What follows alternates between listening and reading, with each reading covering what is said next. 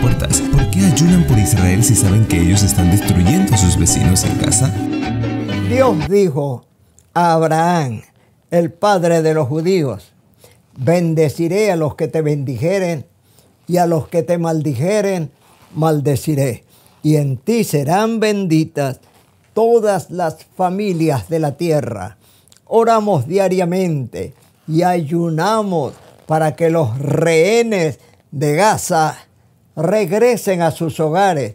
No solamente hay judíos, hay allí también gentes de España, de Argentina, de Alemania. Oramos para que los rehenes regresen a sus hogares.